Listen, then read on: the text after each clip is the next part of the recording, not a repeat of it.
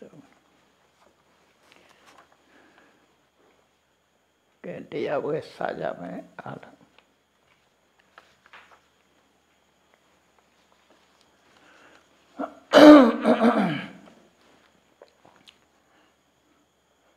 သာသနာတော်နှစ်2564နှစ်ကောဇာတက္ကရာ1382ခုနှစ်နတ်တော်လာဇန်10ရက် 2020ပြည့်နှစ်ဒီဇင်ဘာလ24ရက်ကြာသပတေးနေ့ရန်ကုန်မြို့ကိုချမ်းမြေအောင်မိသားစုဥ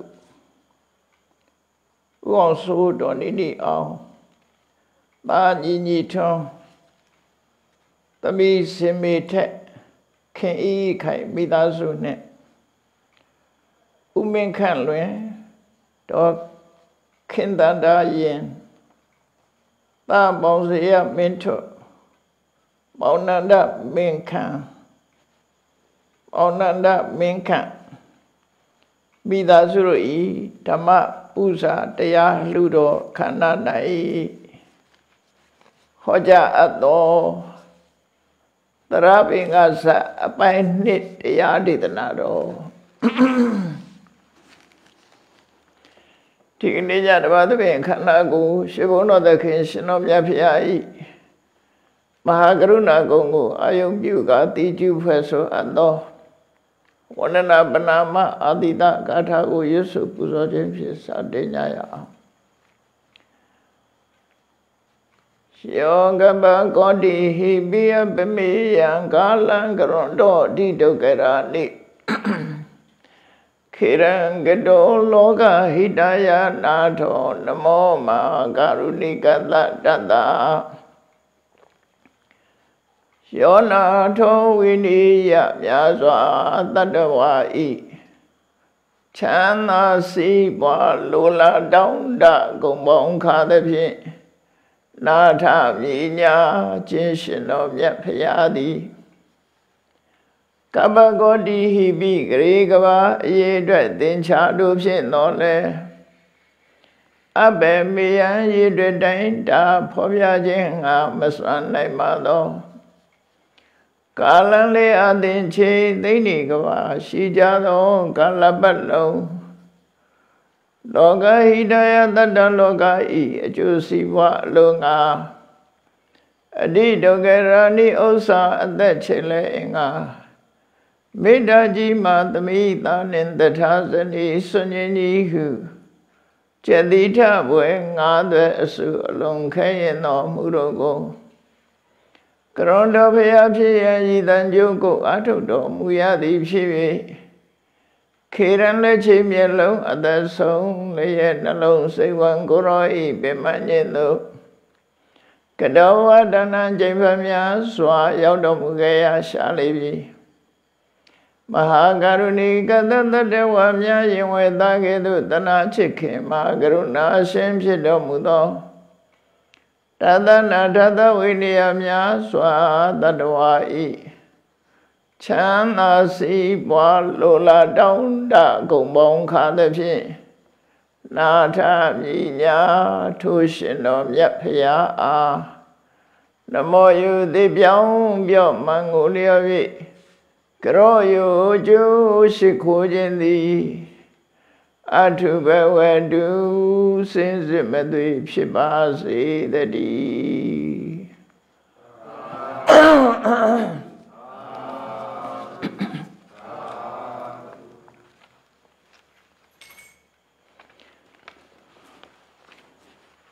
တရဘေငါဆ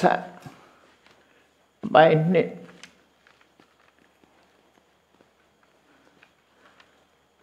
တရားမင်းကြီးရဲ့မိခွန်းတွေကိုမိခွန်းသုံးပုဒ်ကိုတရဘေငါဆရာကြီးကဖြေလိုက်တဲ့အခါမှာသိခိုင်ခြင်းရဲ့အကျိုးကိုပြောပြစမ်းပါလို့တရားမင်းကြီးရဲ့တောင်းဆိုချက်အရာသိခံမှုစွမ်းအားပိုင်ရှင်ရရှိတဲ့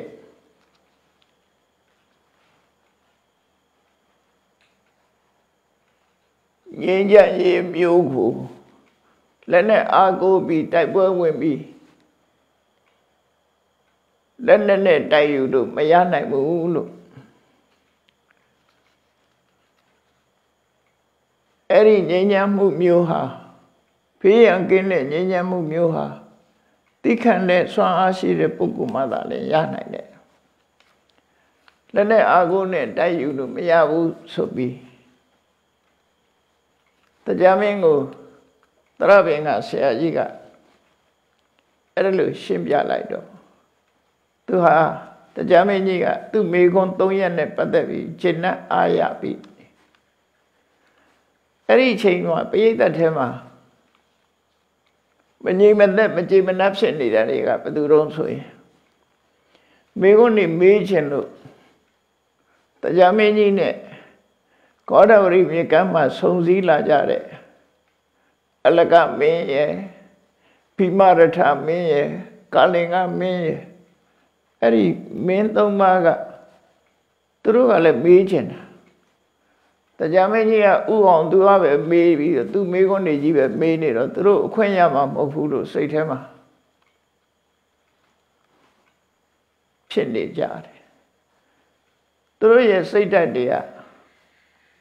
တရားမင်းကြီးကငါတို့တော့အလှည့်ပေးမှာမဟုတ်ဘူးသူမေးချင်တာတွေပဲမေးနေတယ်ဆိုပြီးစိတ်ထဲမှာဖြစ်ပေါ်လာတာကိုတရားမင်းကသူတို့ရဲ့စိတ်အခြေတွေကိုအကဲခတ်ပြီးသိရှိသွားတယ်ဒါနဲ့သူတို့မေးမဲ့မေးခွန်းကိုတရားမင်းကြီးကပဲ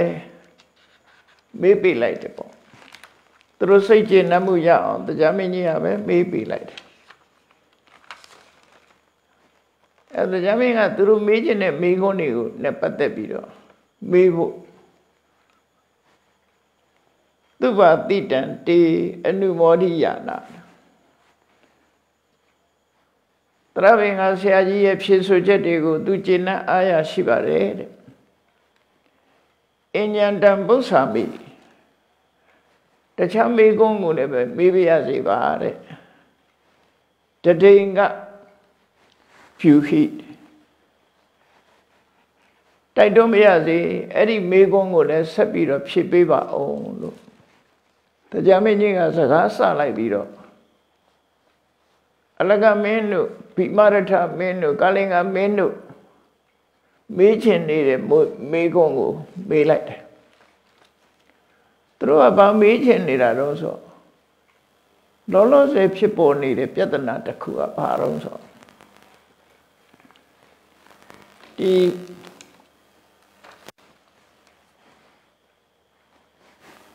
တဏ္ဍကိမင်းဆိုတာကာလိန်နာမင်းတို့နဲ့အနီးပါးမှာရှိတဲ့တဏ္ဍကိမင်းကြီးရဲ့ကုံမောက်တီဆိုတဲ့မြို့တော်ကြီးမကြခင်ကမှသဲမိုးတွေလက်နဲ့မိုးတွေရွာပြီးတော့မြို့ကြီးပျက်စီးပြောက်ွယ်သွားတာမကြခင်မှ အဲ့ဒီလိုဖြစ်သွားတယ်အံ့ဩဘွယ်ကအဖြစ်ဆိုးကြီးနဲ့ကြုံပြီးတော့တမျိုးလုံးဟာသဲဖုံးပြီးတော့သွားတယ်ခဏိခေမှာလည်းသဲမုန်တိုင်းတွေဆိုတာရှိတယ်နော်မတမကြောက်ဆက်ကောင်းတယ်အဲသူတို့ကတော့ရသေးကိုပြမမိသည့်အတွက်ကြောင့်သဲမုန်တိုင်းကြီးကြပြီးတော့တမျိုးလုံးပျောက်ကွယ်သွားတယ်မြေကြီးအောင်အကုန်ရောက်ကုန်ကြတယ်အဲ့ဒါသူတို့လောလောဆယ်ဖြစ်တဲ့အဖြစ်ပြပဲ အဲ့ဒီဖြစ်ဖြစ်ပုံလေးကတော့ဒီတရဘင်္ဂဆရာကြီးရဲ့တပည့်ခုနှစ်ဦးရှိတဲ့ထဲမှာတရဘင်္ဂဆရာကြီးကကပိဋကဆိုတဲ့အတ္တမရသေးเจ้าကြီးမှာတရင်သုံးနေထိုင်တာဖြစ်တော့တဖြည်းဖြည်းရသေးဥယေကတိုးတက်များပြားလာသင်္ကနန်းထိရောက်လာတဲ့အခါနေရာထိုင်ခင်းခက်ခွဲရှိလာခက်ခဲရှိတော့တပည့်ကြီးခုနှစ်ပါးတဲ့က ပါဠိတရဆိုတဲ့တပည့်ကြီးကိုအဝေးကိုလွှတ်လိုက်တယ်ယသိအေခေါ်သွားပြီးတော့သူ့ရဲ့ခြံရယသိတွေနဲ့ကြောင်းခွဲတွေလွတ်လိုက်တယ်ပေါ့နော်လူစုခွဲပြီးနေကြဖို့လွတ်တဲ့သဘောပဲပါဠိတရဆိုတဲ့ယသိကိုမစ္ဆတိုင်းကလပ်ပစုံလဆိုတဲ့ဏိကုံးကိုအမိပြုပြီးနေဖို့အဲ့ဒီဒေသကိုလွတ်လိုက်တယ် ပါဠိတရယသိကအဲ့ဒီမှာသွားပြီးတော့တရင်သုံးရတယ်နောက်တစ်ခါရသေးတွေတိုးပွားလာတော့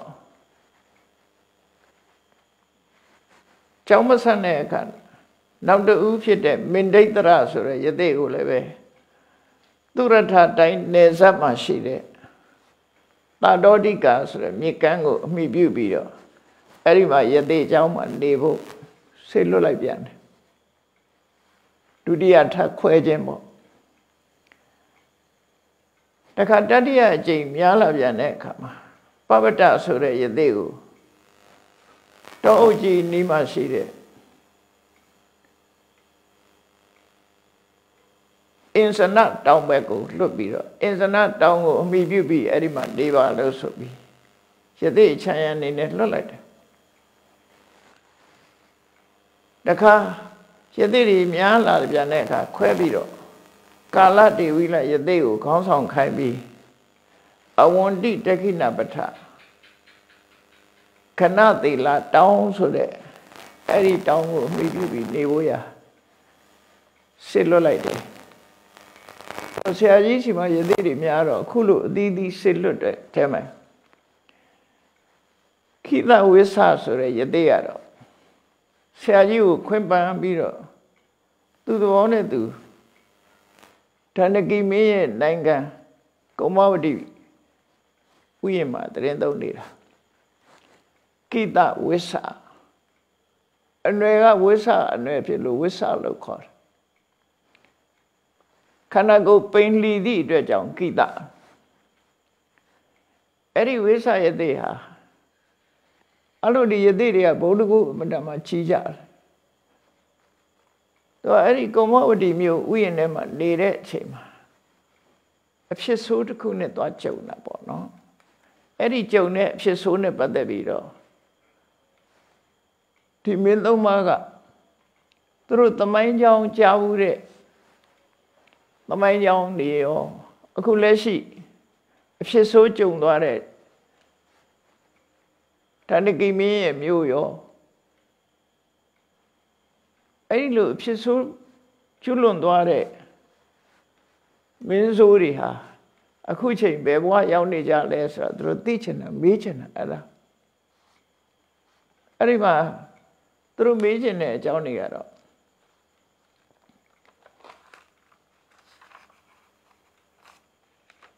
တရားမင်းကြီးကသိတော့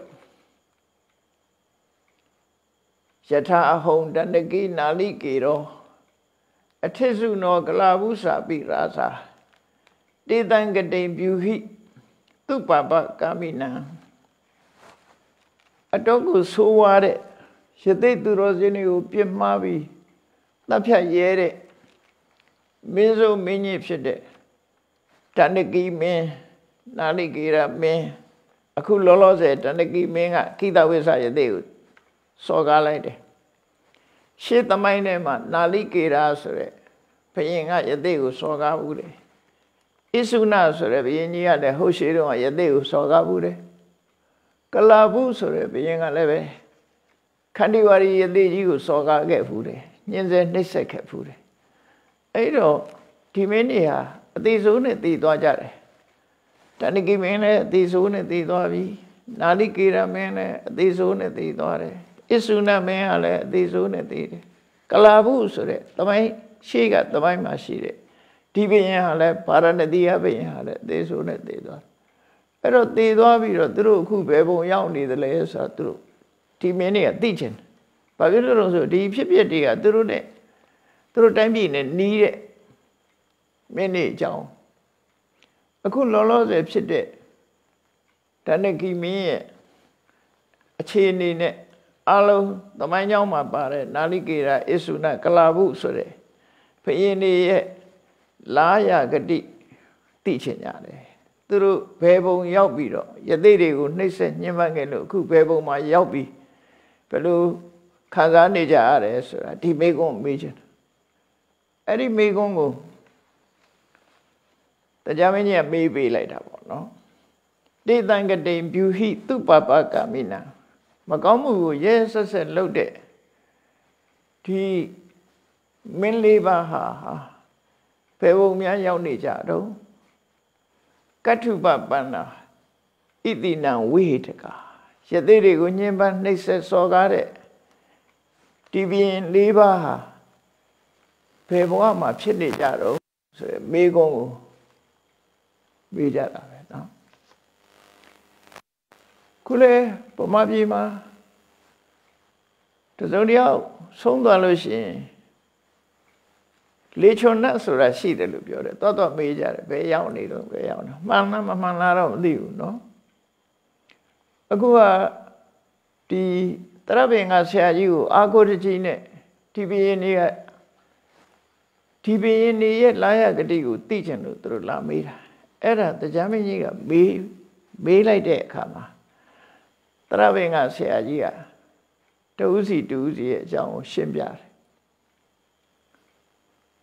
အခုလောလောဆယ်ဖြစ်ပေါ်နေတဲ့ကိတံဟိဝိသံအဝကိရိယဓနကိ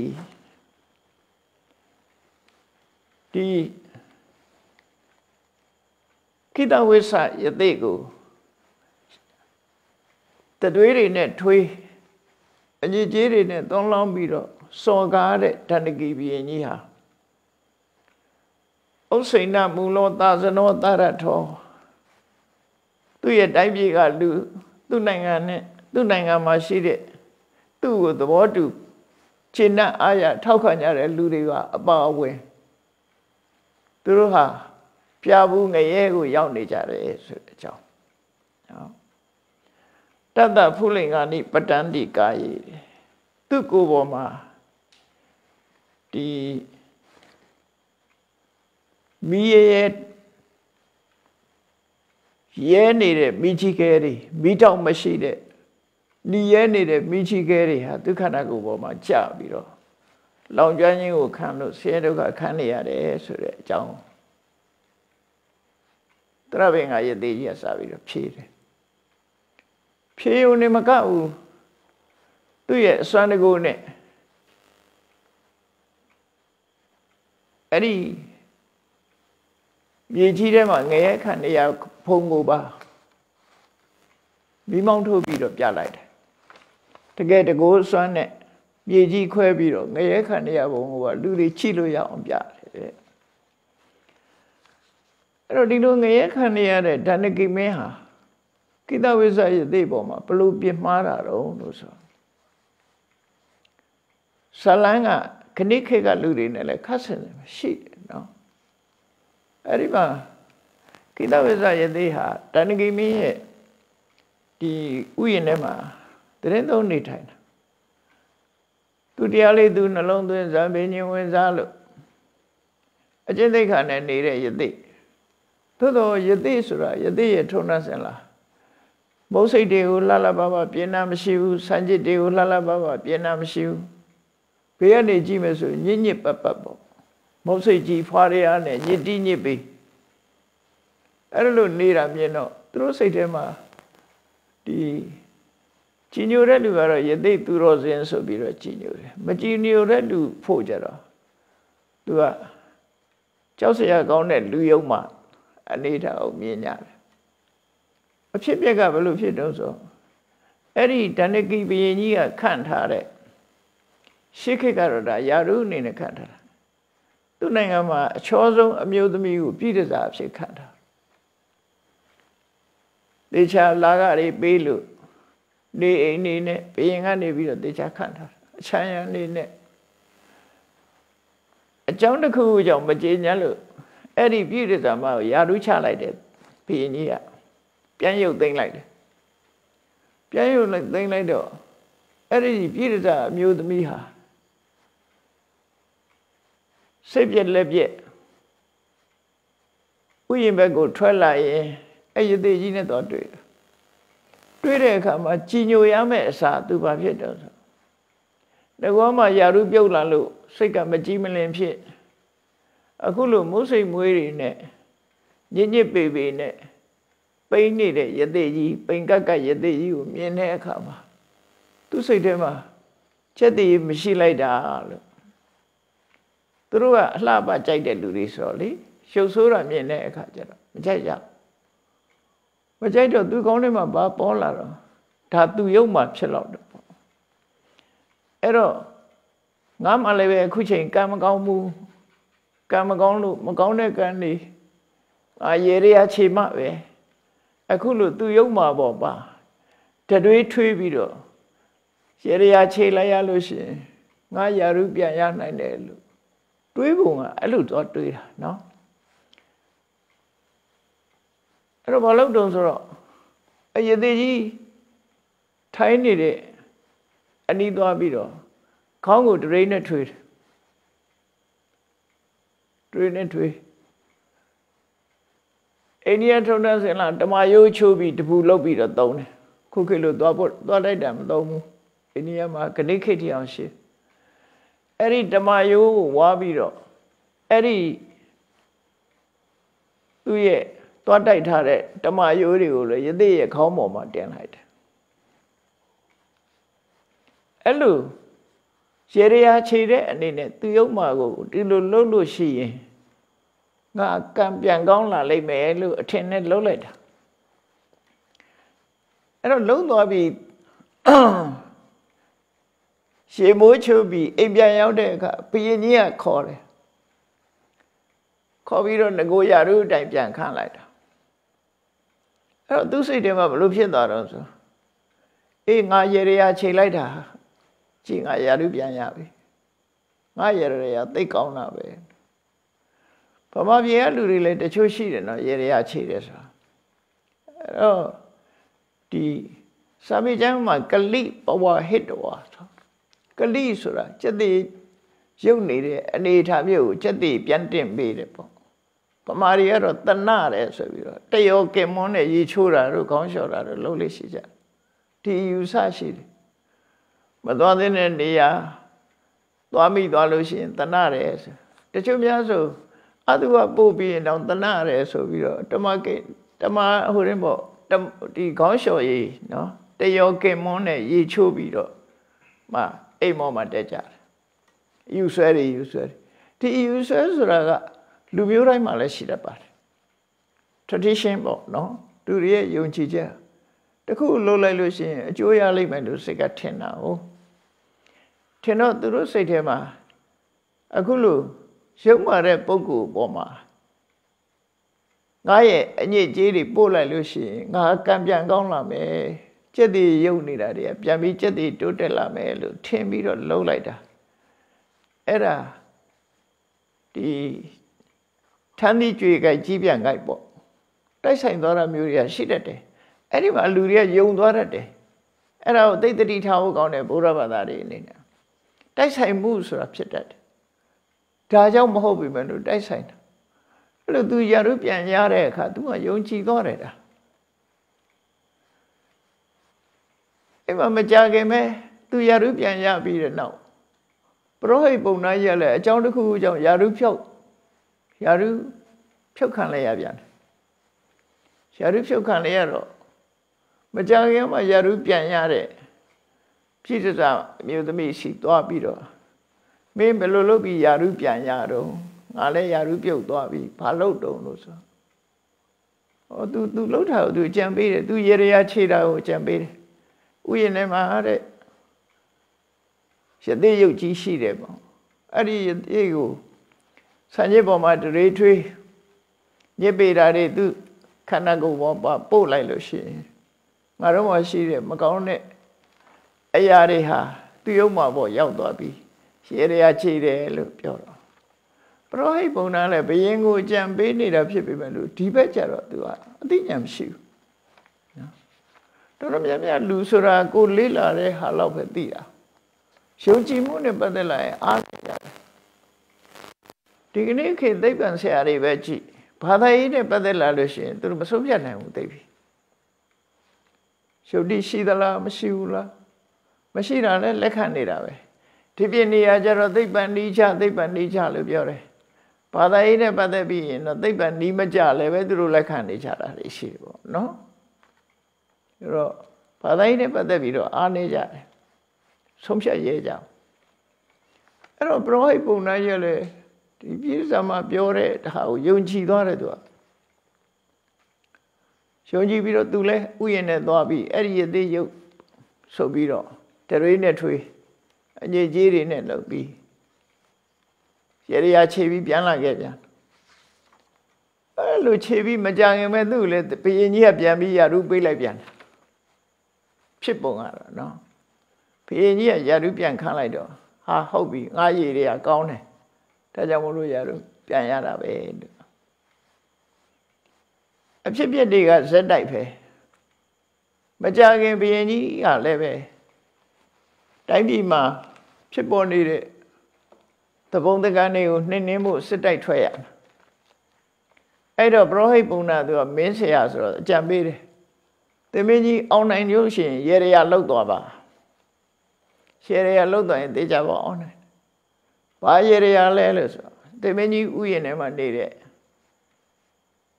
ရသေးရုပ်ကိုသွားပြီးတော့အခုလို့သူကောင်းပေါ်မှာတသွေးနဲ့ထွေးရအဲ့လိုတသွေးထွေးလို့ရှိရင်သမင်းကြီးရဲ့ခုံကျက်သေးတွေပြန်ရပြီးအောင်မွဲရပါလိမ့်မယ်အဘိကြီးကလည်းမိုက်မဲတာဆိုယုံကြည်တာပဲ ကျွန်ုပ်တော်ယာရုပြန်ရတာဘုရင်မင်းကြီးတဲ့အောင်မွဲရမှာသိကြတယ်ဆိုဘုရင်ကြီးကတခါတည်းသူနဲ့အတူထွက်မဲ့စစ်သည်ဘိုးဘာတွေအားလုံးရောရေရချေရမယ်ဥယျာဉ်ပဲခေါ်သွားတယ်အယသိကြီးဝိုင်းပြီးတွေးနဲ့ထွေးတာပဲလေတကလုံးပေပွားနေအောင်တတွေးနဲ့ထွေးသွားကြထွေးပြီးတော့စစ်တိုက်ထွက်ကြအဲ့ဒီအချိန်မှာရသေးကိုချီညိုကိုးကွယ်တဲ့စစ်သူကြီးက ရသေးကြီးစီရောက်လာတဲ့အခါဒီအဖြစ်ပြက်ကိုမြင်တော့သူယူကြုံမရဖြစ်ပြီးရသေးကြီးကိုရေမိုးချုပ်ပေးပြီးကွန်တန်ရှေးတွေသူလှုပ်ပေးပြီးဘုရင်ကြီးကိုဆွေမထွက်ခင်သွားပြီးတဏှာဥတင်တယ်ဒါဟာတကယ်သူတော်စင်ရှစ်သေးကြီးဒါပြမရမကောင်းဘူးပေါ့အဲ့လိုရသေးကြီးကိုပြုစုပြီးတော့မေးတယ်ပေါ့အရှင်ရသေးကြီး အခုလိုစော်ကားတဲ့ပုဂ္ဂိုလ်တွေများဘယ်လိုများအပြစ်ဒဏ်များခတ်မလဲရသေးကြီးကတော့ငါကတော့မေတ္တာမပြတ်ပါဘူးတဲ့သူတို့ဘယ်သူပေါ်မှာငါမေတ္တာမပြတ်ဘူးဒေါသလည်းမထွက်ဘူးတဲ့ဒါပေမဲ့လို့နတ်တွေကစိတ်ဆိုးကုန်ကြပြီတဲ့မကြခင်ရက်ခုနှစ်ရက်မှာဒီကမဝတီမျိုးကြီးတစ်ခုလုံးကိုဖျက်ဆီးဖို့နတ်တွေကစီဝေးနေကြပြီတဲ့ ဒီလူတွေစော်ကားတယ်အစာဖြောက်မယ်ဆိုပြီးတော့နတ်တွေကစီဝေးနေကြတယ်အဲ့ဒါကိုပြေးပြီးတော့စစ်သူကြီးကဖေမင်းကြီးကိုရှောက်တော့လက်မခံလက်မခံမဲနဲ့ရှေ့တန်းစစ်မျက်နှာထွက်သွားတယ်ပေါ့အဲသူရှေ့တန်းရောက်တဲ့အခါတိုက်ပွဲတွေအောင်ပြီးတော့တိုင်းပြည်ကိုပြန်လာတယ်အဲ့ဘရင်ပြန်လာတဲ့နေ့ပဲ တိုင်းပြည်မှာမိုးလေးကဖွဲဖွဲဖွဲဖွဲနဲ့အေးစိမ့်စိမ့်လေးမိုးလေးရွာချတာအတိုင်းပြည်သားတွေကငါတို့ဘရင်ကြီးလှုပ်တာမှန်တယ်ကြည့်အေးချမ်းတဲ့အတိတ်နိမိတ်ပဲမိုးရွာတယ်ပေါ့လူဆိုတာတော်တော်ခက်တယ်နော်အဲ့သဘောတူလိုက်တာဘရင်ကြီးလှုပ်တာသဘောတူကြတာအလုံးသဘောတူရင်လည်းအကုသိုလ်သဘောတူရင်ကိုလည်းပါတယ်နော်ကိုယ်တိုင်တိုက်တွန်းချီးမွမ်းစိတ်တူတဲ့ ကိုယ်တိုင်လှုပ်တာရဲ့သူများကိုလှုပ်ခိုင်းတာရဲ့တိုက်တွန်းတာရဲ့လှုပ်တာကောင်းတယ်လို့ချီးမွမ်းတာရဲ့စိတ်တူတာရဲ့ခေါင်းငိမ့်တာပေါ့နော်စိတ်တူလိုက်တယ်တို့ရင်ကြီးလှုပ်ထားတာကြောင့်မလို့တိုင်းပြည်သားတွေအားလုံးကလည်းဘာမဆိုင်ညာမဆိုင်ဘယင်းကိုထောက်ခံလိုက်ကြတယ်အဲမိုးလေးကဖိုးဖိုးဖွဲဖွဲနဲ့ကြာလာပြီးတော့နေလို့ထိုင်တဲ့ကောင်းတဲ့အချိန်မှာကောင်းငင်ကပန်းမိုးတွေပါရွာချလာတယ် ဟာအတိတ်ကောင်းနမိတ်ကောင်းမိုးလေးကလည်းရွာပန်းမိုးတွေကလည်းရွာလာပြီဆိုပျော်လိုက်ကြတာပေါ့ငါတို့အကုသိုလ်တွေကင်းပြီဆိုတော့လူတွေအဲ့ဒီပန်းမိုးလေးရွာပြီးတော့လူတွေစိတ်ဝင်စားနေတဲ့အချိန်မှာထပ်ပြီးတော့လူမှန်သမျှအပြင်ရောက်လာအောင်သွေးဆောင်တဲ့သဘောမျိုးပေါ့ပထမမက်ဆီပြားလေးတွေကောင်းငင် မက်ဆီပြားလေးတွေကောင်းငင်ကြလာအလူရဲ့ထွက်ကောက်ကြနောက်တော့ပြားတွေကောင်းငင်လာကြလာပြန်တယ်အလူရဲ့ထက်ပြီးတော့ကောက်ကြပြန်တပြိုင်နဲ့မကြခင်ပဲကြက်ပြားတွေကောင်းငင်ရကြလာယူပြီးတဲ့နောက်မှာဒီလက်ဝတ်တန်းစာယေရနာတွေကောင်းကင်ကကြာလာ ဒါထူးဆန်းမှုဆိုတာဖြစ်တတ်တယ်နော်မကြခင်ကြားလိုက်တဲ့ငါးမိုးရွာတယ်ဆိုတာငါးကောင်လေးမိုးထဲမှာပါလာတာဘုန်းကြီးတို့ကိုယ်တို့တွေ့ဘူးတာတော့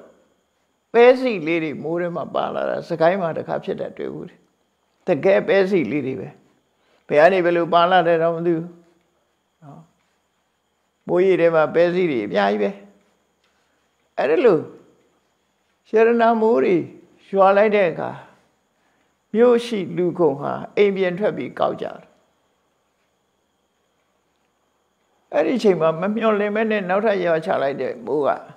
မိကြီးကဲမိုးတွေဖြစ်လာရဲတောက်နေတဲ့မိကြီးကဲမိုးတွေလက်နဲ့မိုးတွေရွာချလိုက်တယ်ပထမလက်နဲ့မိုးတွေရွာချတော့လူတွေဟာလက်နဲ့တန်းတွေထိခိုက်ကုန်တယ်နောက်မိကြီးကဲမိုးတွေရွာချလိုက်တဲ့အခါတကူလုံးပူလောင်ပြီးနောက်ပြဘူးမိုးရွာချလိုက်တယ်နောက်တစ်ခါသဲမိုးရွာချလိုက်တယ် အကုန်လုံးဟာအိမ်တွေရောအဆောက်အဦလူတွေရောအားလုံးဟာသဲဘုံကြီးရောက်ရောက်သွားပြီးတော့မြို့ကြီးတစ်ခုလုံးပျောက်သွားတယ်အဲ့ဒီအခြေအနေမျိုးရောက်သွားတယ်အဲ့တော့တစ်ခါတစ်ခါအကုသိုလ်ဟာအကုသိုလ်လုပ်တဲ့ပုဂ္ဂိုလ်ဟာဒီသူ့ကိုသွေးဆောင်ဖြာရောက်တဲ့အနေနဲ့ကောင်းကျိုးချမ်းသာပေးတဲ့ရောင်ရောင်နဲ့သွေးဆောင်ပြီးတော့ပေးတတ်တဲ့သဘောရှိပုံရတယ် နော်ကောင်းစားလာတယ်ကောင်းစားလာတော့ဟုတ်ထင်လာမကြရင်ပျက်စီးသွားပြန်မကြရင်ပျက်စီးသွားတယ်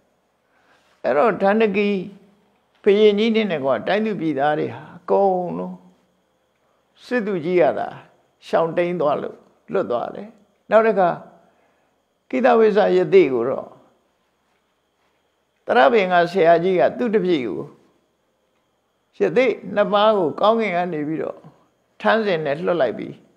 ကိတဝိဇယသိကြီးကိုလည်းပြန်ပြီးတော့ဟိမွန်တာတောင်ဘက်ကိုခေါ်သွားတော့အဲယသိကြီးလည်းဘာမှမထိခိုက်ဘူးဟောစစ်သူကြီးကလည်းပဲလွတ်ရရှောင်လိုက်တဲ့အခါကျတော့သူလည်းပါမသွားဘူးကြံတဲ့ပုဂ္ဂိုလ်တွေအားလုံးဟာဒီမင်းဆိုမင်းညစ်ကိုသဘောတူလုပ်ပြီးကိုယ်တိုင်လည်းပါဝင်လုပ်တဲ့ပုဂ္ဂိုလ်တွေအားလုံးဟာဒီပျက်စီးဆုံးရှုံးပြီးတော့သွားကြတယ် အဲ့ဒီအဖြစ်ပြက်ကမကြသေးခင်ဖြစ်လိုက်တဲ့အဖြစ်ပြက်အဲ့ဒါကိုမေးချင်တယ်ဘယ်ရောက်တော့ဆိုတော့မေးချင်တာအဲ့တဏ္ဍကိမင်းဟာဒီပြားဘူးငရဲရောက်ရှိပြီးတော့သွားတယ်အဲ့ဒီမှာသူဟာတကူလုံးမိကြီးကဲတွေဖုံးပြီးတော့မိကြီးကဲတွေကြားလိုက်ခန္ဓာကိုယ်လောင်လိုက်နဲ့အဲ့လိုသူကငရဲခံနေရတယ်ဆိုတာကို တရဘင်္ဂယတိကြီးကရှင်းပြီးတော့ပြတကိုးနဲ့ယူဆောင်ပြီးတော့တကယ်ငရဲခံနေရပုံကိုပါလူတွေမြင်ရအောင်ပြလိုက်တဲ့အခါမှာအလုံးကအတော်ကြောက်ရွံ့ပြီးတော့ဟိုစိတ်မကောင်းဖြစ်ကြတယ်ပေါ့နော်အဲ့ဒါအခုလောလောဆယ်ဖြစ်တဲ့ကိစ္စလို့လို့ဆိုတယ်အဲ့တော့ဒါနဲ့ဆက်ပြီးတော့နာလိကေရမင်းတို့အစ္ဆုနမင်းတို့ကလာဘုမင်းတို့ဆိုတာလေ အခုလိုပဲယသိတွေကိုစော်ကားတယ်ယသိတွေစော်ကားတော့လူတွေကတော့ထင်ကြတယ်ယသိတွေကကြိမ်လို့ဒီလူတွေသေးကုန်တယ်လို့ဒုက္ခရောက်တယ်လို့ထင်တယ်အမှန်တော့ယသိတွေကမကြိမ်ဘူးမေတ္တာမပြတ်ကြအောင်သူတို့အကုသိုလ်ကြောင့်သူတို့ဖြစ်ယသိတွေပေါ်မှာပြစ်များတဲ့ပြစ်မှားတဲ့အကုသိုလ်စိတ်ကသူတို့အကျိုးပေးတယ်လို့သူတို့ယူရမှာသို့တော့အများကတော့ဣတိနံမနောပရောတေန ယသိတွေပေါ်မှာပြစ်မှားတဲ့စိတ်ကြောင့်ခုလိုဖြစ်ရတယ်လို့ယူမှတ်ကြတယ်ပေါ့နော်ဒါဒီယသိအကြောင်းကိုကိတဝိသယသိအကြောင်းကိုမေကုန်းကိုအခုလိုဖြေလိုက်တယ်ဖြေပြီးတဲ့အခါမှာနာလိကေရမင်းနဲ့ပတ်သက်တဲ့ယသိစောကားပုံအကြောင်းလေးကိုဆက်ပြီးတော့ဖြေတယ်ယောတင်ညတိပပစီတိအဟိတဟိ ဓမ္မံပနန္တိသမဏေအထုတကေဘယ်သူကိုမှစောကားတတ်တဲ့မစောကားတတ်တဲ့အကျင့်ကောင်းတဲ့နော်ကိုယ်နှလုံးကိုထိမ့်သိမ်းဆောက်ရှောက်ပြီးမကောင်းမှုအကုသိုလ်တွေကို ရှင်းထုတ်နေတဲ့သူတော်စင်ယသိတွေကိုတရားဓမ္မကိုဟောပြောနေတဲ့သူတော်စင်ယသိတွေကိုပြစ်မှားတဲ့ တန်နာလိကေရံသူနခပရထ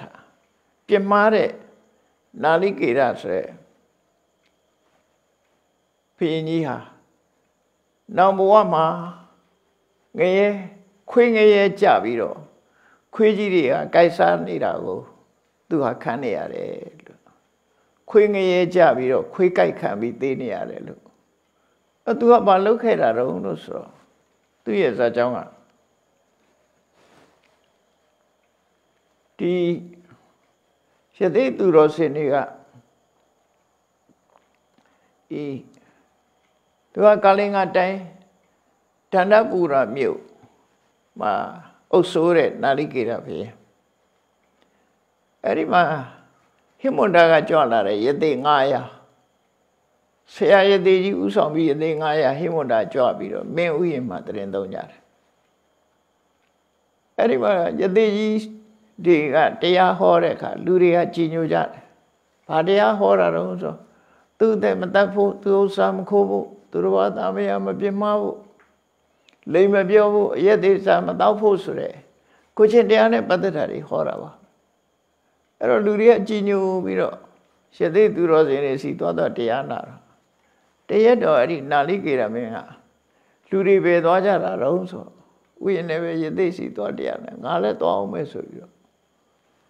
လူတွေကိုစောင့်ခိုင်းပြီးသူကလိုက်သွားတယ်အဲ့တရက်မှာအဲ့ဒီဘင်းကတရားတရားလည်းမရှိဘူးအကျင့်လည်းရုပ်တယ်နော်မတရားလည်းနှိမ့်ဆက်တတ်တယ်စိတ်ကောင်းနှလုံးကောင်းမရှိဘူးအဲ့တော့လူတွေကတော့ရသေးတရားနာလိုက်ရင်သူလိမ္မာသွားလိမ့်မယ်လို့ထင်ကြတယ်ပေါ့နော်ဟိုရောက်တဲ့အခါရသေးကြီးကဟောတယ်မင်းဆိုတာတရားသဖြင့်တိုက်သူပြည်သားတွေပုံမှာဥစ္စုရတယ် ပါဏိပါဒရှောင်ရတယ်သူများဥစ္စာမတရားယူခြင်းမှရှောင်ရတယ်ဆိုအဲ့ဒါတွေဟောတဲ့အခါကျတော့သူစိတ်ဆိုးလားငါရောက်ကြတဲ့ငါအပြစ်တွေကြီးပဲပြောနေသူလှုပ်တာကိုဒါတွေကအကုန်လုံးသူလှုပ်တာတရားတဲ့တတ်ဆိုလဲသူပဲတရားဥစ္စာယူတာလဲသူပဲအဲ့တော့တစ်ချိန်လုံးငါအပြစ်တွေလူချားထဲမှာရှက်ခွဲပြီးတော့ပြောတယ်ဒီအသေးတော့သိစိတ်ပဲဆိုပြီးနောက်တည့်သူနန်းတော်ကိုကြွခဲ့ဖို့ ဆွမ်းသာပင်သွားချက်သေးတွေအလုံးဆွမ်းသာပင်နန်းတော်မှာဘာတွေလှုပ်ထားတော့ဆိုရင်မြို့ထဲမှာရှိသမျှမစင်းတွေကိုရှာပြီးတော့အိုးတွေတဲ့ထက်လုံအောင်ပိတ်ပြီးတော့ထားတယ်နောက်ပြီးတော့နန်းတော်လေကားတွေမှာအစင်းနဲ့ချောစီတွေပေါ့လေခုခေတ်လို့ဆိုလို့ရှိရှော့ကြနိုင်တဲ့ချော်လဲနိုင်တဲ့အရာတွေအကုန်လုံးအစင်းသင်းလှုပ်ထားတယ် အဲ့ဒီမျိုးမှာဒီလက်ဝိသမားတွေကိုလည်းခေါ်ထားတယ်ရသေးတွေကိုနှိပ်စက်ဖို့ခွေးတွေကိုလည်းအသင့်နန်းတော်မှာစုထားတယ်အကြိုက်ခဲကောင်းတဲ့ကြိုက်တဲ့ခွေးတွေကိုကုန်စုထားရသေးတွေနန်းတော်ကိုရောက်ပြီဆိုတဲ့အခါမှာမစင်အိုးတွေဖွင့်လိုက်တာထောင်းထောင်းထနန်သွားတာအဲ့ဒီမှာရသေးတွေကိုဒီမစင်တွေကိုစားကြဖို့ဆိုပြီးတော့ ရသေးသူတော်စင်တွေကအမှန်တန်ဆင်းရဲဒုက္ခကြုံရှာကြတယ်ကြုံရှာလို့နန်းတော်ကပြန်မှုဆင်းကြတဲ့အခါမှာချောစီတွေလောင်းချပြီးလက်ဝိသမားတွေကတွန်းချတာနဲ့အောက်ရောက်အောက်ကြတော့ခွေးတွေကကြိုက်ကြအဲ့တော့လွတ်သွားတဲ့ယသိကိုလည်းပဲရိုက်တတ်တယ်အဲ့ဒါလို့ယသိ900ကိုအခုလို့နန်းတော်ပင့်ပြီးတော့စော်ကားလိုက်တာသူကစော်ကားလိုက်တော့ အဲ့လိုယသိတွေစော်ကားပြီးယသိတွေအားလုံးနဲ့တတ်လိုက်ဖြတ်လိုက်ရောဒီပြင်းကြီးဟာမကြရုံပဲမြေမြူသွားတယ်တဲ့အဲ့မှာမြေမြူသွားပြီးတော့သူဟာငရဲဘုံရောက်သွားတာခုနပြောတဲ့ခွေးငရဲကြီးမှရောက်သွားပြီးတော့ခွေးတွေရဲ့ကြိုက်မှုကိုခံစားရပြီးအခုသူဟာငရဲခံနေရတယ်ဆိုတဲ့အကြောင်းကိုအလုံးမြင်ရအောင် တရပင်ကဆရာကြီးကတကိုးနဲ့သူငရဲခံနေရပုံကိုမြင်အောင်ပြသေးတယ်အဲ့ဒါလိုပြပြီးတဲ့အခါနောက်မေကွန်းတစ်ဖုတ်ကိုဖြေတယ်နောက်မေကွန်းကတော့အစ္ဆုနဆိုတဲ့ဘုရင်ဟာအတိတ်တုန်းကဖြစ်ခဲ့တဲ့တမိုင်းကြောင်းမှာအစ္ဆုနဆိုတဲ့မင်းဟာရသေးကိုစော်ကားတယ်စော်ကားလို့သူလည်းမြေမြူသွားတယ်ခုသူဘာဖြစ်နေတယ်လဲသိချင်ကြအဲ့တော့သိကျင်တော့ မေးတဲ့အခါမှာယတိကြီးကဖြေတယ်အထစ်စုနောနိရယံတတ္တိသူလေသူဟာလှန်တကြုံနေပေါ်များတဲ့ငရဲမှာတဲ့ဆောက်ထိုးကြပြီးတော့ခံနေရတယ်သူဟာအင်္ဂိရတဆိုတဲ့ယသိကိုနှိမ့်ဆက်လိုက်တယ်အဲ့ဒီယသိဟာ အကျင့်ကောင်းပြီးတော့မြတ်သောအကျင့်ကိုကျင့်လို့တိခတ်စိတ်အပြေးဝရှိတယ်အကျင့်ကောင်းယသိကြီးကိုတပ်ဖြတ်စော်ကားလိုက်သည့်အတွက်ကြောင့်သူဟာအခုငရဲခံနေရတယ်အဲ့တော့သူဘယ်လိုဒီယသိနဲ့တွေ့တော့ဆိုဒီအစ္ဆုနာဆိုတာသူကမြားပြည့်မတန်ကောင်းတဲ့ဘုရင်ကြီးပေါ့နော်လေးမြားကျွမ်းကျင်နေပြီသူကတောလဲပြီးတော့တောထဲမှာတဲုံထိုးက သမင်းလေးကိုပြစ်ခတ်ပြီးစားတော့နေတာတဲမှာသူတဲထိုးပြီးတော့သမင်းလေးကိုချောင်းနေတဲ့အချိန်အတိတိနေတဲ့ကာရဆိုတဲ့တစ်ပင်ကာရကိုဒီဒီတစ်ပင်ကိုတရုပ်ဖော်တာတော့မတူကြဘူးပေါ့နော်အဂိတိဇတ်မှာလည်းပဲဒီကာရဆိုတဲ့တစ်ပင်ကိုတရုပ်ဖော်တာရှိတယ် ပမာလို့တော့ဘယ်လိုတစ်ပင်လဲလို့ဆိုတာအသီးတော့အသီးသီးတယ်ပြင်မယ်အဲ့ဒီတစ်ပင်ကအသီးကိုအစ္ဆုနယတိကတစ်ပင်ကွာကြတက်ပြီးတော့တတိစားဖို့တတိခူးတာအဲ့ဒီပတ်ဝန်းကျင်မှာတမင်တွေကလည်းပဲရောက်လာရှသေကတတိခူးပြီးတော့တစ်ကိုင်းကိုလွတ်လိုက်တဲ့အခါမှာတစ်ကိုင်းကနေလှုပ်ရှားရိုက်ခတ်သွားတယ်လား တမင်တွေအကုန်လန့်ပြီးတော့ပြေးသွားကြအဲ့ဒါကိုတော့ထဲမှာတဲအောင်ဆောက်ပြီးတော့စောင့်ပြီးတော့ကြည်နေတဲ့အစ္ဆုနာမင်းကဒေါသထွက်တယ်ဒီအသေးကြောင့်ငါပြစ်ကွင်းကတမင်တွေအကုန်လုံးလွတ်သွားပြီပေါ့ဆိုပြီးတော့အဲ့ဒီရသေးကိုအစ္ဆုနာရသေးကို ညားနဲ့ပြစ်ချပြစ်တော့ရသေးဟာတပြစ်မောကနေပြီးတော့ဆောက်ထိုးကြအောက်ကရှားငုတ်ကြည့်ပေါ်မှာစုပြီးတော့ရသေးဟာအဲ့မှာပဲပြန်လွန်သွားတယ်ပေါ့အဲ့လိုဒုက္ခရောက်သွားတယ်သူနှိပ်ဆက်လိုက်တော့ယသိကတကယ်သူတော်စင်တကိုကြီးယသိဆိုတော့ယသိကိုတပ်ဖြတ်ညှင်းဆဲလိုက်လို့ယသိဟာတိပိမောကြငုံစုမြားစုပြီးတော့တေပွဲဝင်သွားရတဲ့အခါမှာ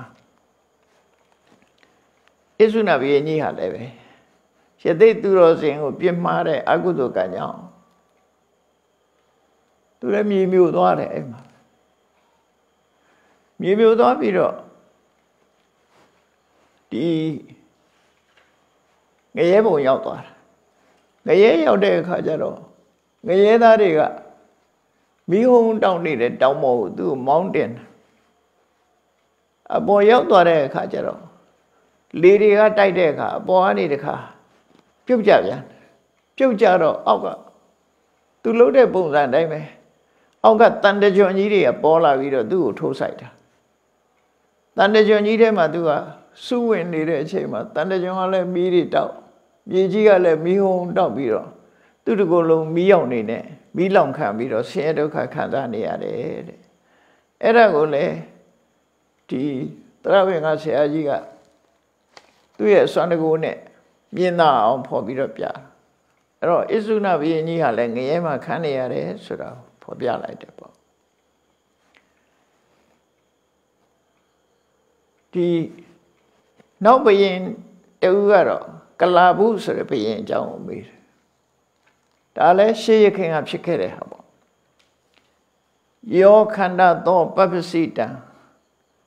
အစေတယိခန္တိဝဒန္တိတမနာအထုတကံ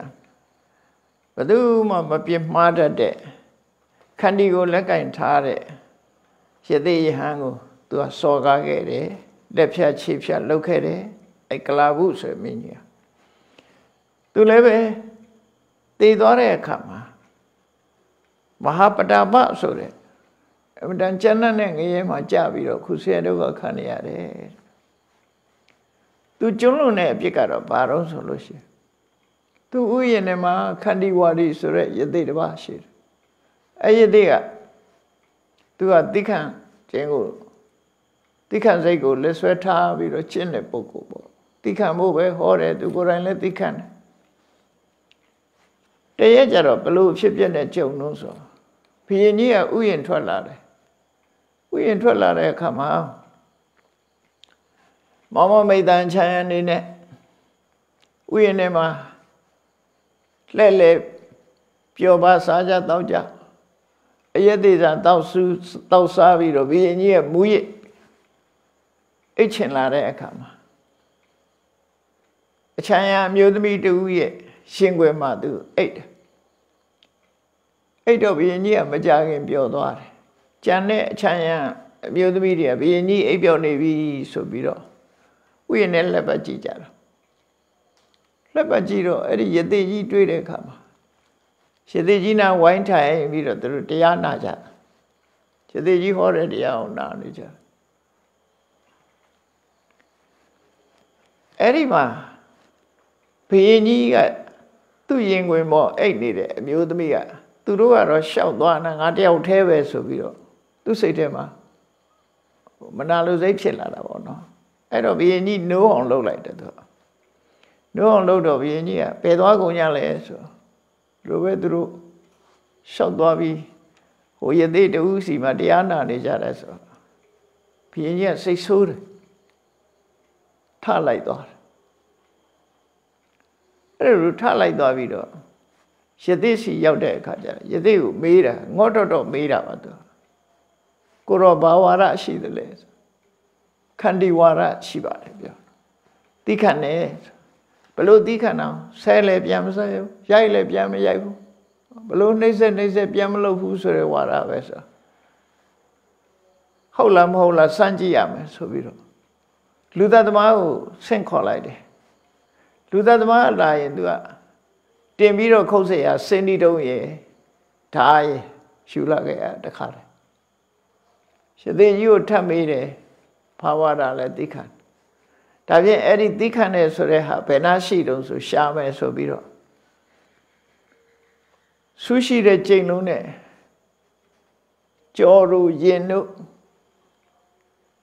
နံဘေးနှစ်ဖက်တို့အချက်ပေါင်းများစွာရိုက်တယ်အရေးတွေစွတ်ပြတ်နေအောင်ရိုက်ခိုင်းရိုက်ခိုင်းတော့ဘယ်လိုလဲစိတ်ဆိုးလားတိခတ်တော့ငါတိခတ်ပါတယ်ပဲပြောအဲ့ဒါနဲ့လက်ဖြတ်ခြေဖြတ် နှာခေါင်းဖြတ်နှရွက်ဖြတ်အဲ့လိုဖြတ်လေတေကြီးကတိခတ်နေဆိုတာငါရင်ထဲမှာရှိတာလက်ထဲမှာမရှိဘူးခြေထဲမှာမရှိဘူးငါရင်ထဲမှာရှိတယ်အဲ့ဒီခန္ဓာကိုရှာမယ်ဆိုလက်ဖြတ်ခြေဖြတ်နှာခေါင်းဖြတ်နှရွက်ဖြတ်တွေအကုန်လုပ်တယ်ဘယ်လောက်သိခံတော့ဆိုတော့သူစမ်းသက်တဲ့ဘောနဲ့လုပ်စော်ကားတာနောက်ဆုံးကြတော့ရသေးကိုသူလက်လျှော့သွားတယ် သူတလောက်ညှင်းဆဲနေတာတောင်မှပဲရသေးကတိခတ်နေဆိုတဲ့ဝါရမပြောင်းလဲသည့်အတွက်ကြောင့်ရင်ဘတ်ကိုခြေထောက်နဲ့ပိတ်ခံပြီးတော့ကဲတိခတ်ရင်ခံရောက်တော့ဆိုပြီးတော့ရသေးကြီးကိုစော်ကားပြီးတော့ပြန်ထွက်သွားရသေးကြီးရဲ့မြင်ကွင်းလဲကြော်ရောအဲ့ဒီကလာဘူးမင်းကြီးကလည်းပဲမြေမျိုးသွားပြန်တယ်ခဏိဝရီရဲ့အသိကိုစော်ကားတာအမှန်က သူတော်စင်ပုဂ္ဂိုလ်တွေကတိခန့်လေလေလှုပ်တဲ့ပုဂ္ဂိုလ်ဟာပို့ပြီးတော့အပြစ်ဒဏ်ကြီးလေလေဘာနဲ့ဥပမာတူတော့ဆိုရင်ရှင်တုံးကိုခေါင်းနဲ့တိုက်ရင်တော့သိမနာဘူးကြောက်တုံးကိုခေါင်းနဲ့တိုက်ရင်နာတယ်ပေါ့ကိုတိုက်တဲ့အရာကမာလေးလေးကိုခံရလေလေပဲအဲ့တော့မာရာရဲ့အပြစ်မဟုတ်ဘူးတိုက်သူရဲ့အပြစ်ပဲဒါသူလှုပ်တဲ့မကောင်းမှုအကုသိုလ်ကြောင့်သူဟာဒုက္ခခံရရတယ် အဲ့ဒီကလာဟုမင်းကြီးကလည်းမဟာဝီစီငရဲကြပြီးတော့သူဟာကြောက်မဲ့ဖွဲ့ငရဲဒုက္ခကိုခံရရတယ်ဆိုတာဒီတရဘင်ကရှသေကြီးကတရားဟောရင်ပြောပြပြီးတော့ရှသေဆရာကြီးကဧတာနိသုတ်တော်နိရိယာနိပန္တိတောတဲ့အခုလို့ စဉ်းစားဉာဏ်ရှိတဲ့ပုဂ္ဂိုလ်ဟာငရဲဒုက္ခတွေအကြောင်းကိုကြားနာရပြီးပြီကိုယ်ကိုငရဲဒုက္ခမရောက်အောင်ကျင့်သုံးနေထိုင်ကြဖို့တရားဟောအညာနိပပိဋ္ဌတရာနိစိတ်ထားတယ်သူတို့တွေမဟုတ်ဘူးတဲ့ငရဲတွေကလည်းဓာတ်မကဘူးတဲ့ငရဲတွေအများကြီးရှိတယ်ငရဲကြနေတဲ့ပုဂ္ဂိုလ်တွေလည်းအများကြီးရှိတယ်ဓမ္မစရိသမဏိပြမဏိသူ ဒါကြောင့်မို့လို့ကိလေသာတွေငြိမ်းအောင်ကျင့်နေတဲ့ပုဂ္ဂိုလ်ကိလေသာတွေကိုတွန်းလှန်ဖယ်ရှားဖို့ကြိုးစားနေတဲ့ပုဂ္ဂိုလ်အကျင့်ကောင်းနေထိုင်ကောင်းပုဂ္ဂိုလ်တွေပေါ်မှာတရားသဖြင့်ဆက်ဆံကြပါမတရားသဖြင့်သွားလို့ရင်တော့ဧဝံကရောတက်ခိမှုပေတိဌာနာတရားသဖြင့်ဆက်ဆံကြပါတရားသဖြင့်ဆက်ဆံမှသာလဲကောင်းရတိဂရိဘုံရောက်နိုင်တယ်မတရားသဖြင့်စောကားဆက် မဲ့ဆိုလို့ရှိရင်တော့အခုလိုပဲငရေဒုက္ခရောက်နိုင်တယ်လို့တရဘင်္ဂဆရာကြီးကတရားဟောတယ်တက်ရောက်နားထောင်လာကြတဲ့တရားမင်းရဲ့ပြိဿမင်းသုံးပါးရဲ့ပြိဿတွေကိုခုလိုတရားဟောလိုက်တာပေါ့နော်တရားဟောလိုက်တဲ့အခါမှာအလကမင်းရဲ့ဘိမရထမင်းရဲ့ကာလင်္ဂမင်းရဲ့ သူတို့သိကျင်တာတွေသိသွားတန်တရားတွေကင်းစင်ပြီးတော့ကျေနပ်အားရဖြစ်သွားတယ်သူတို့ကျေနပ်သွားပြီဆိုတဲ့အခါမှာတရားမင်းကြီးကသူမေးချင်တဲ့မေးခွန်းကမကုန်သေးဘူးသူမေးခွန်းကပထမ၃ခွန်းမေးထားတယ်မေးထားလို့အဖြေရပြီးပြီနောက်ထပ်သူကမေးခွန်းတွေထပ်မေးချင်သေးတယ်အဲ့တော့မင်းနေရဲ့မင်းနေမေးချင်တဲ့မေးခွန်းကိုသူကအရင်မေးပေးလိုက်တယ် အဲ့ဒါဖြေပြီးတဲ့အခါမှာတရားမင်းကြီးကသူ့မေးခွန်းကိုသူဖြေဖို့အဲသူ့မေးခွန်းကိုဆက်ပြီးတော့တရဘင်္ဂယတေကြီးကိုမေးပြန်တယ်သူပါတိတံအနုမောဒိယာနအဉ္ဉံတံပု္ပ္ပာမိတရေငါပြုဟိအိုရှင်ယတေကြီးရှင်သေးကြီးရဲ့ဖြည့်ဆိုချက်မှန်ကန်စွာဟောပြောချက်တွေကိုကျွန်ုပ်ဝမ်းမြောက်ဝမ်းသာဖြစ်ပါတယ်တဲ့ အဉ္ဉံတေပု္ပ္ပာမိနောက်တခြားမိကုံမေးပြရစေအောင်တဲ့တတိငါပြုဟိအဲ့ဒီမိကုံကိုလည်းပဲဖြေဖို့တိုက်တော့ပါတယ်ဖြေပေးပါဆိုပြီးသူမိကုံလေးပုတ်ထပ်ပြီးတော့မေးတယ်သူမေးတဲ့မိကုံကကထံဝိတံသီလဝန္တံဝဋ္ဌန္တိ ဘယ်လိုရည်ချင်းနေနဲ့ပြည့်စုံမှသီလရှိသူတို့ခေါ်နိုင်တာလဲဘယ်လိုအနေထားရှိမှသီလရှိသူလို့သတ်မှတ်နိုင်တယ်လဲဒါတခုကထံဝိတံပညာဝန္တံဝဒန္တိဘလို့အခြေအနေတွေရှိမှပညာရှိသူလို့ခေါ်နိုင်ပါသလဲကထံဝိတံတပ္ပုရိတံဝရဏိ ဘလို့ရည်ချင်းနေနဲ့ပြည့်စုံတဲ့ပုဂ္ဂိုလ်မှသူတော်ကောင်းလို့ခေါ်နိုင်ပါသလဲကထံဝိတံနောတိရိနောဇဟတိဘယ်လိုရည်ချင်းနဲ့ပြည့်စုံတဲ့ပုဂ္ဂိုလ်ချက်တည်းကစွန့်ခွာမသွားတယ်လေဆိုလိုတာဘယ်လိုရည်ချင်းနေနဲ့ပြည့်စုံမှချက်တည်းအမြဲရှိနိုင်တယ်လေနော်အဲ့ဒီမေခွန်းလေးပုဂ္ဂိုလ်သူမေးချင်တဲ့မေခွန်းလေးပုဂ္ဂိုလ်ဆက်မေးတယ်တရားမင်း အဲ့ဒီမေခွန်းလေးပုဂ္ဂိုလ်သရဘင်ကဆရာကြီးကဆက်ပြီးတော့ဖြေတယ်ဘယ်လိုအခြေအနေတွေရှိတဲ့ဘယ်လိုရည်ချင်းနေနဲ့ပြည့်စုံတဲ့ပုဂ္ဂိုလ်သီလရှိသူလို့ဆိုနိုင်ပါသလဲဆိုတဲ့မိကုန်းနဲ့ပတ်သက်ပြီးဖြေတဲ့အခါမှာကာယေနဝါစာယသယောဓတင်ညတောမနတ္တာသကိဉ္စီနကရောတိပပံဟောသီလရှိတဲ့ပုဂ္ဂိုလ်ဆိုတာတဲ့ ကာယကံကိုလည်းစောင့်ထိန်တယ်ဝစီကံကိုလည်းစောင့်ထိန်တယ်စိတ်ကိုလည်းစောင့်ထိန်တယ်စိတ်နဲ့လည်းမကောင်းမှုအကုသို့မလုပ်ဘူးမကြံတွေးဘူးနှုတ်လည်းနဲ့အကုသို့ဖြစ်အောင်မပြောဘူးကာယကံမြောင်လည်းအကုသို့မလုပ်ဘူးစောင့်စည်းတယ်နာအတ္တဟေတုအလိကပနတိတယ်အကုသို့ထဲမှာအဖြစ်များတဲ့အကုသို့နဲ့ရည်ညွှန်းပြီးတော့ကိုယ့်အတွက်လည်းလိမ့်မပြောဘူးသူ့အတွက်လည်းလိမ့်မပြောဘူး ပစ္စည်းဥစ္စာအတွက်လည်းလိမ့်မပြောဘူးဘသူအတွက်မှလိမ့်မပြောဘူးတဲ့ပြောရင်မှန်မှန်ကန်ကန်ပဲပြောတယ်ဆိုလိုတာကကိုနှုတ်နှလုံးသုံးမလုံးမှာအကုသို့အလုပ်ကိုလုံးဝမလုပ်ဘူးတဲ့ကကာယကံစောင့်ထိန်တယ်ဝစီကံစောင့်ထိန်တယ်မနောကံစောင့်ထိန်တယ်အကုသိုလ်မှုတစ်ခုမှမလုပ်ဘူးတဲ့အဲ့ဒီလိုကာယကံဝစီကံမနောကံအစာထိမ့်သိမ့်ဆောက်ရှောက်ပြီးအကုသိုလ်ကင်းအောင်နေတဲ့ပုဂ္ဂိုလ်မျိုး တထာဝိတံသီလဝန္တဝဋ္ဌန္တိအဲ့လိုပုဂ္ဂိုလ်မှာကိုချင်းသီလနဲ့ပြည့်စုံတယ်လို့လို့ဆိုလို့တယ်လို့ဆိုအဲ့တော့သီလဆိုတာကကာယကံနဲ့ဝစီကံကိုထိမ့်သိမ့်တယ်လို့ဒီလိုသိထားကြတယ်စိတ်ကိုထိမ့်သိမ့်တာသီလမဟုတ်ဘူးလို့များဖြင့်ဒီလိုဆိုတာပေါ့နော်သို့တော်လည်းအိန္ဒိယသံဝရသီလဆိုတာမျိုးကြတော့စိတ်ကိုထိမ့်ရတာစိတ်ကိုပဲထိမ့်လာရတာပေါ့ အဲ့တော့သီလဆိုတာကအထူးအဓိကကတော့ကာယကံကျွလွန်မှုဝစီကံကျွလွန်မှုမရှိရအောင်ထိမ့်သိမ့်တတ်တာအမှန်ပဲအဲ့တော့စိတ်ပါထိမ့်တဲ့အခါမှာဒီသီလဟာပို့ပြီးတော့ပြည့်စုံလုံလောက်လာတယ်ပေါ့တရပင်ကဆရာကြီးကဖြေလိုက်တာတကယ်မြတ်စွာဘုရားကိုယ်တိုင်ဖြေတဲ့အဖြေမျိုးပဲသူဖြေတာကာယကံမြောင်းလဲအကုသိုလ်မလုပ်ဘူးနှုတ်လဲလဲအကုသိုလ်ဖြစ်အောင်မလုပ်ဘူး ကာယကံနဲ့အကုသိုလ်ဆိုတာအလုံးသိကြတဲ့အတိုင်းသူများတဲ့တတ္တာသူများဥစ္စာခိုးယူတာ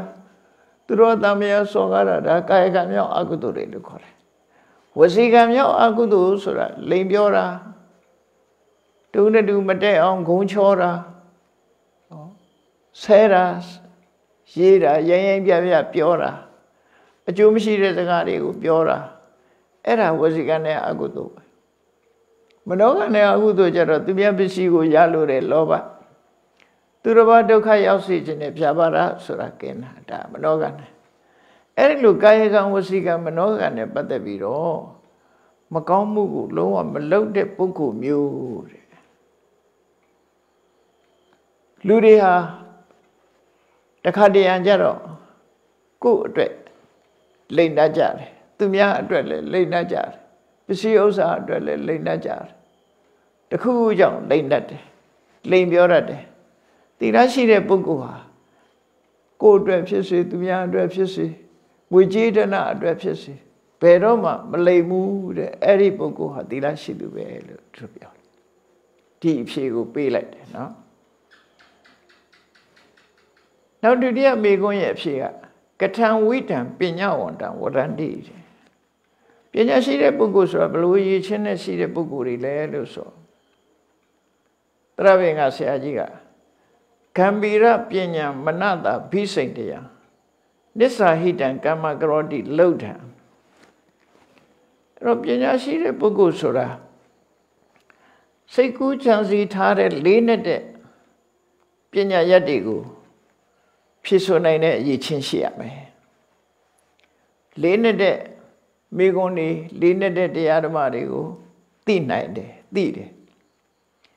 နိစ္စဟိတံကမ္မကရောတိလောက်တာရက်ဆက်ကြမ်းညုပ်ပြီးတော့အကျိုးစီးပွားကိုမဖြစ်စေတတ်တဲ့အလုပ်မျိုးဘယ်တော့မှမလုပ်ဘူးပညာရှိတဲ့ပုဂ္ဂိုလ်ဆိုတော့သူများဒုက္ခရောက်အောင်လည်းမလုပ်ဘူးကိုဒုက္ခရောက်အောင်လည်းမလုပ်ဘူးဆိုလို့ကာလကတံအထပဒနာရိစတိအချိန်ခါသိရောက်လာတဲ့အကျိုးရှိတဲ့ကိစ္စမျိုးဘယ်တော့မှလွတ်မခံဘူးတဲ့ ပညာရှိတဲ့ပုဂ္ဂိုလ်ဟာတထဝိရပညာဝဝတ္တံပညာဝန္တံဝရန္တိအဲ့ဒီလိုအခြေအနေမျိုးဂုံကြီးမျိုးနဲ့ပြည့်စုံတဲ့ပုဂ္ဂိုလ်မှာပညာရှိလို့သတ်မှတ်ပါတယ်အဲ့တော့မေးတဲ့မေးခွန်းတွေကလည်းပဲလေးလေးနက်နက်စဉ်းစားတာတွေကလည်းလေးလေးနက်နက်လေးနဲ့တဲ့မေးခွန်းမေးတတ်တယ်လေးနဲ့တဲ့မေးခွန်းစဉ်းစားတတ်တယ်လေးနဲ့တဲ့အတွေးခေါ်တွေကိုတွေးခေါ်တယ် အကျိုးမရှိတဲ့အလုပ်ကိုဘယ်တော့မှမလုပ်ဘူးအကျိုးရှိတဲ့အလုပ်ကိုလုပ်တယ်ရက်ဆက်တဲ့အလုပ်မျိုးကိုဘယ်တော့မှမလုပ်ဘူးနော်အချိန်ကအားလျော်ဆိုအခွင့်အရေးတစ်ခုရလာလို့ရှင်အခွင့်အရေးကိုလက်မလွတ်အောင်ကောင်းကျိုးရအောင်ကြိုးစားတတ်တယ်အဲ့ဒီလိုပုဂ္ဂိုလ်မျိုးမှတကယ်ပညာရှိတဲ့ပုဂ္ဂိုလ်လို့ခေါ်ပါတယ်လို့ဒါတရဘင်ကဆရာကြီးကဖြေလိုက်တဲ့အဖြေတစ်ခုပဲ အဲ့တော့သီလရှိတဲ့ပုဂ္ဂိုလ်ဆိုတာဘယ်လိုပုဂ္ဂိုလ်မျိုးလဲပညာရှိတဲ့ပုဂ္ဂိုလ်ဆိုတာဘယ်လိုပုဂ္ဂိုလ်မျိုးလဲလို့ခြုံငုံပြီးတော့ဖြေလိုက်တာအဲ့ဒီအဖြေနှစ်ခုပါရသော်ဘုရားလက်ထက်ရောက်လို့ဖျားဖြေတဲ့အခါမှာလဲဒီအဖြေမျိုးပဲဖြေတာဖြစ်တယ်ပေါ့အဲ့တော့ဒီကနေ့လဲဒီနားမှာပဲအချိန်စိတ်လို့ရက်တမ်းပြီးနောက်ရက်ကျမှဆက်ပြီးတော့ဟောကြရအောင် တတရားချစ်ခင်သူတော်စင်ပြိဿပေါင်းတို့တရပင်ကဆရာကြီးဟာတရားမင်းကြီးမေးသမျှမေးခွန်းတွေကိုရှင်းလင်းပြတ်သားစွာယခုလိုဖြူဆိုခဲ့တာဖြစ်တယ်သူရဲ့ဖြေဆိုချက်အနှစ်သာရတွေကိုနိုင်ယူမှတ်သားပြီးမိမိတို့ကိုယ်တိုင်သီလရှိသူဖြစ်အောင်ပညာရှိသူဖြစ်အောင်ကြိုးစားအထောက်ကြမှာဖြစ်တယ်လို့ကိုစီကိုစီနှလုံးထားပြီးကြိုးစားအထောက်နိုင်ကြပါစေကုန်သတည်း